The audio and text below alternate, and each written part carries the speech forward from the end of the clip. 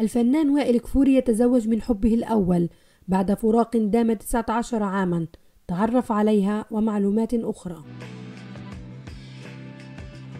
يستعد الفنان اللبناني وائل كفوري للزواج من حبه الأول بعد فراق دام لمدة 19 عاما وهي فتاة مغربية من خارج الوسط الفني تدعى ماجدة أليموس.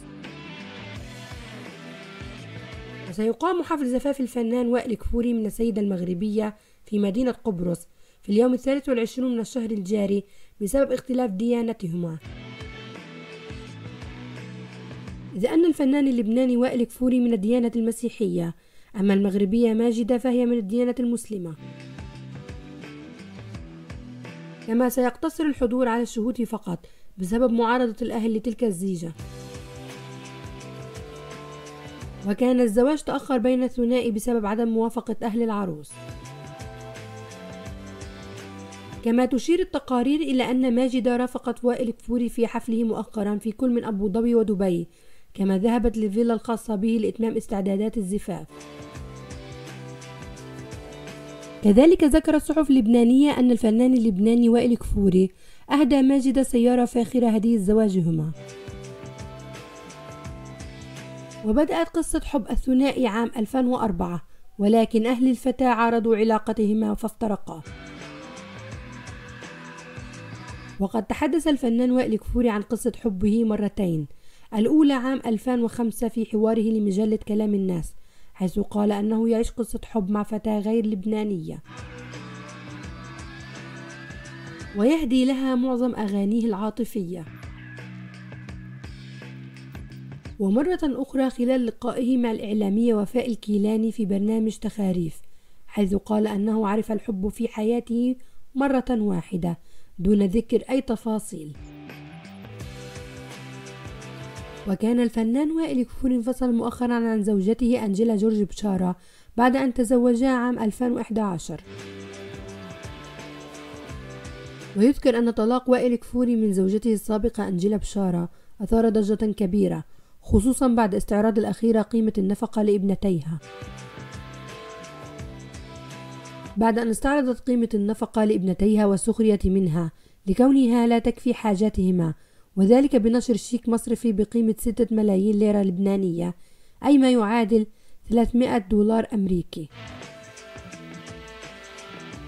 ومن المعروف أن زواج وائل كفوري كان أشهر زواج سري في لبنان ولطالما حرص النجم على إبقاء عائلته بعيدا عن الأضواء. ورزق الفنان وائل كفوري بابنتهما الأولى وأسمها ميشيل بناء على رغبة زوجته في يوم عيد ميلاده الموافق الرابع عشر من سبتمبر عام 2014 بعد أن أشيع عن خبر طلاقهما عام 2013 ولكن وائل ومدير أعماله قاما بنفي الخبر حيث استغل لحظة استلامه جائزة الموركس دور كأفضل فنان لبناني وأعلن عن إهداء الجائزة إلى زوجته وابنته. وفي أكتوبر عام 2014 أشيع خبر انفصاله عن زوجته بعد ارتباطه بعلاقة حب وطيدة مع ملكة جمال الشرق الأوسط المغربية أحلام حجي والزواج منها في قبرص.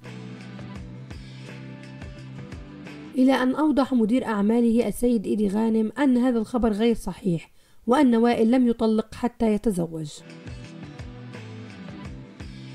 وفي الأول من يونيو عام 2016 رزق بابنته الثانية وأطلق عليها اسم ميلانا. طليقة الفنان وائل كفوري أنجلا بشارة مع ابنتهما.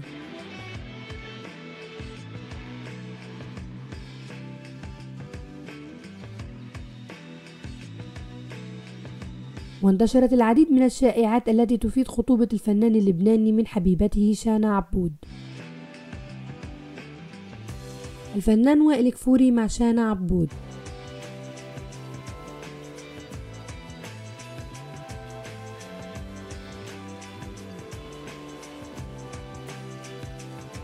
ولكن مواقع إخبارية لبنانية لفتت إلى أنهما يعيشان المساكنة منذ سنوات دون بوادر لزواج مرتقب أو ارتباط رسمي. ويذكر أن الفنان اللبناني وائل كفوري تعرض لحادث سير مروع على طريق جبال وكانت برفقته شانا عبود. الحادث تسبب في طيران وائل من السيارة لأنه لم يكن يضع حزام الأمان على عكس حبيبته شانا ولكن وضعهما مستقر ولا تتعدى إصابتهما الرضوض.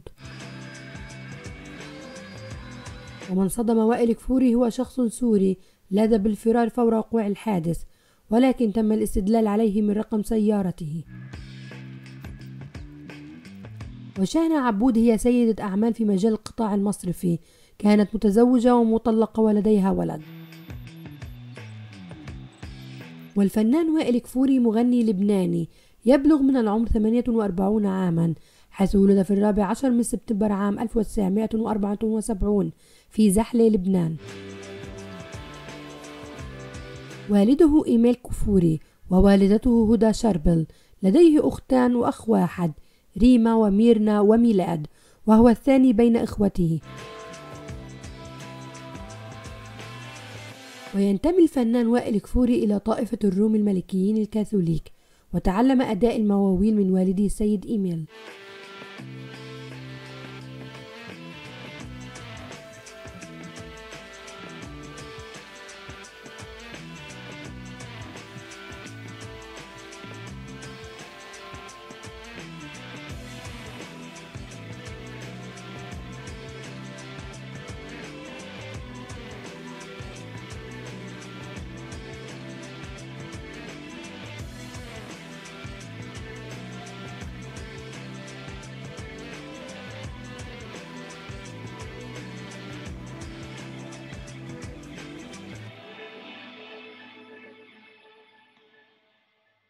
شارك الفنان وائل كفوري في برنامج استديو الفن للمخرج سيمون أسمر وفاز بالميدالية الذهبية. بعد استديو الفن حقق انتشارا وشهرة بأغانيه وآخرها أغنية البنت القوية وأغنية ست الكل.